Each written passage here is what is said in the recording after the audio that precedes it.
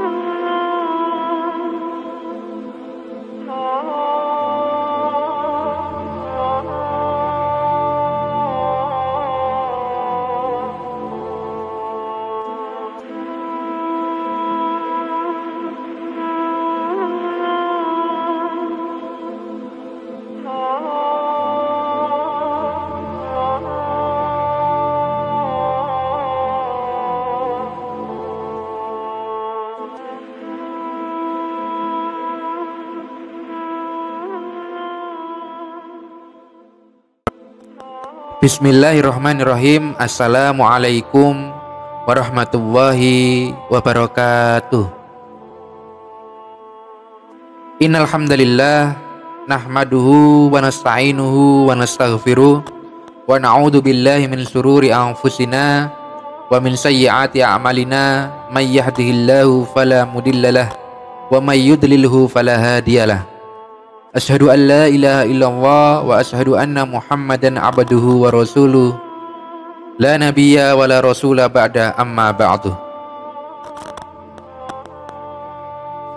Rabbi li sadri wa yassir li amri wahlul uqdatam min lisani yafqahu qawli.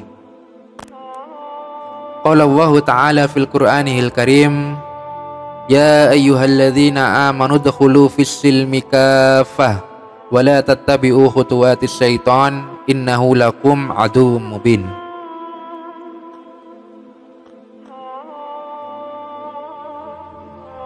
Pada kesempatan kali ini saya akan menyampaikan sejarah mengenai suatu bangsa yang mana bangsa ini merupakan sebutan untuk kaum muslimin yang berada di semenanjung Iberia. Yang mana bangsa ini disebut dengan bangsa Mur. Tujuan saya menyampaikan sejarah ini tidak lain adalah untuk menambah wawasan kita semua agar kita dapat mengetahui sejarah-sejarah yang berkaitan dengan bangsa-bangsa yang telah lalu.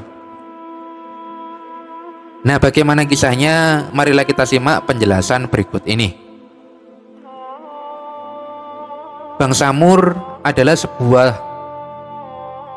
sebutan untuk umat Islam di semenanjung Iberia yang pernah memerintah Spanyol antara 711 Masehi hingga tahun 1492 Masehi.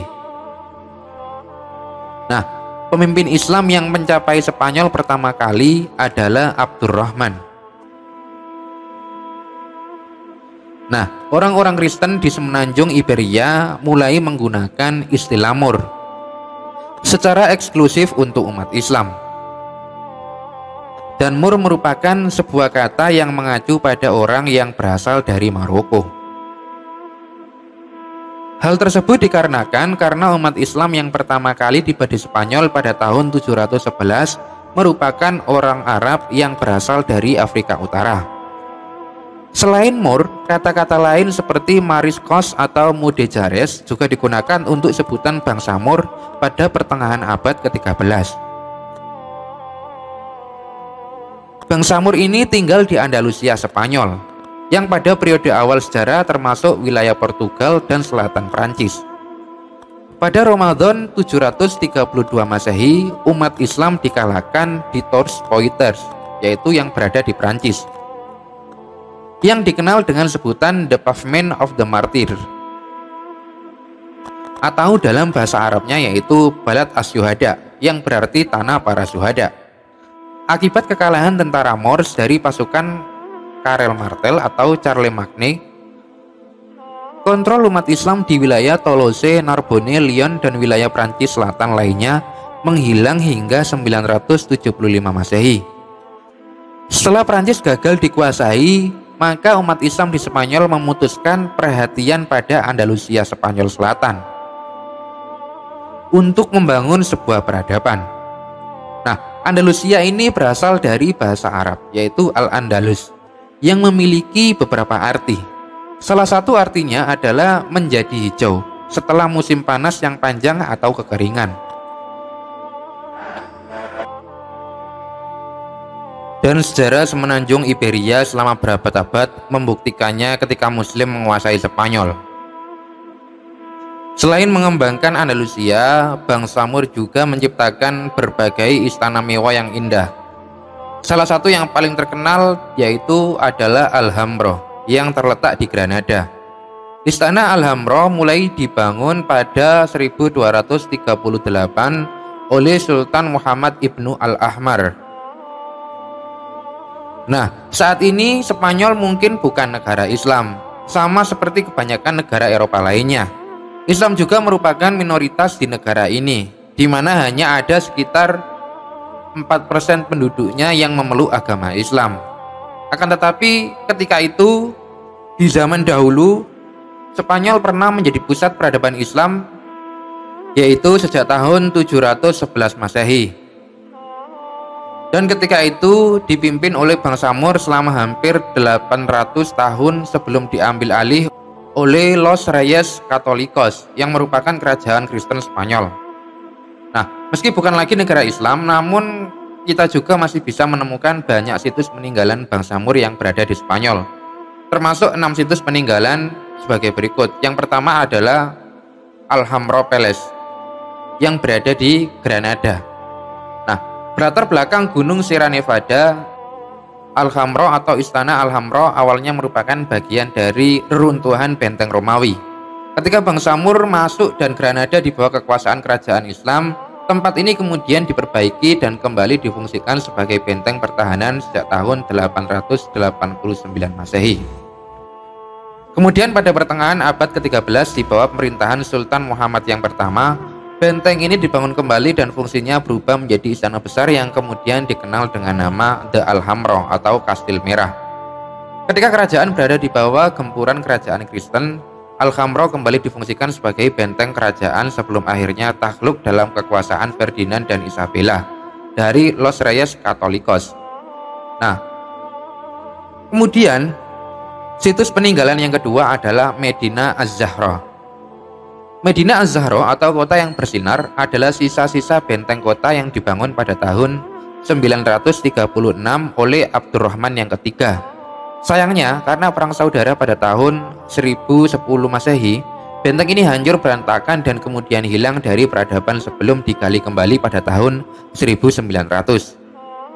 Jika kita berkunjung ke sini, mungkin hanya akan menemukan 10% dari benteng asli. Tapi setidaknya kita masih bisa melihat gambaran benteng besar kerajaan Islam di masa lalu. Nah, kemudian peninggalan yang ketiga adalah Cordoba Mesquita. Mesquita merupakan bangunan Masjid Agung Cordoba. Masjid ini dibangun pada tahun 784 oleh Abdurrahman yang pertama dan merupakan salah satu masjid utama yang dibangun oleh umat Islam untuk beribadah pada masa itu. Cordoba Mesquita sendiri terinspirasi dari masjid di Damaskus dan Masjid Al-Aqsa yang berada di Palestina. Sayangnya sejak tahun 1236 Masjid Indah ini kemudian berubah fungsi menjadi katedral dan masih digunakan sebagai tempat ibadah umat Kristen hingga saat ini. Kemudian peninggalan yang keempat adalah Royal Alcazar of Seville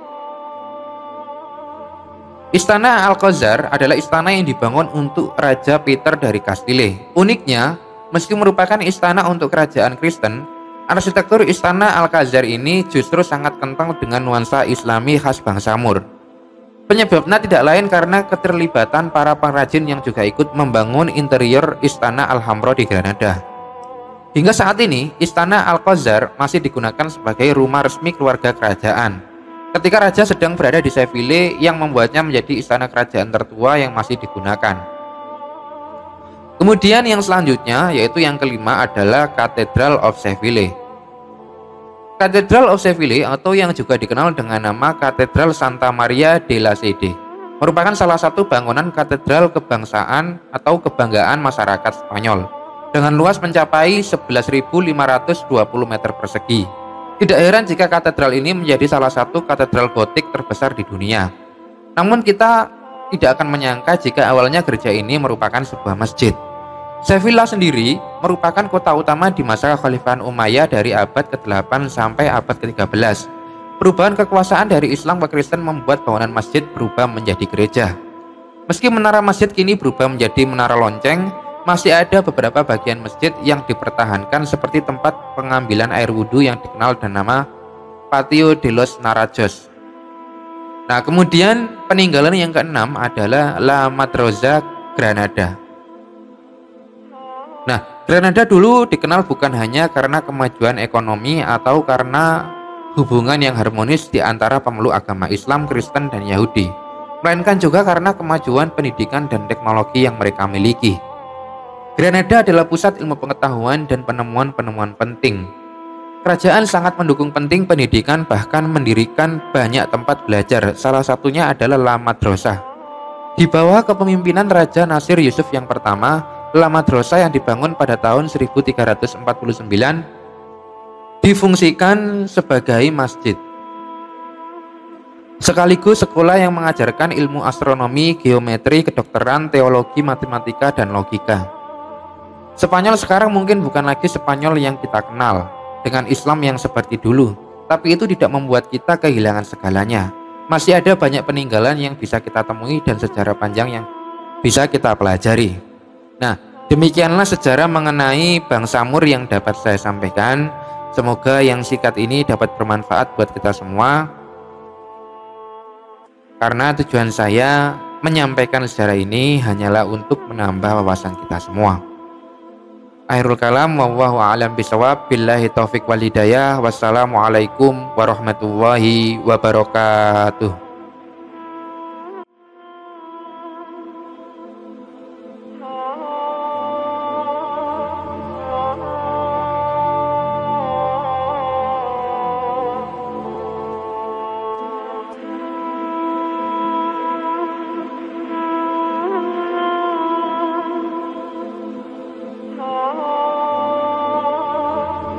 بسم الله الرحمن الرحيم.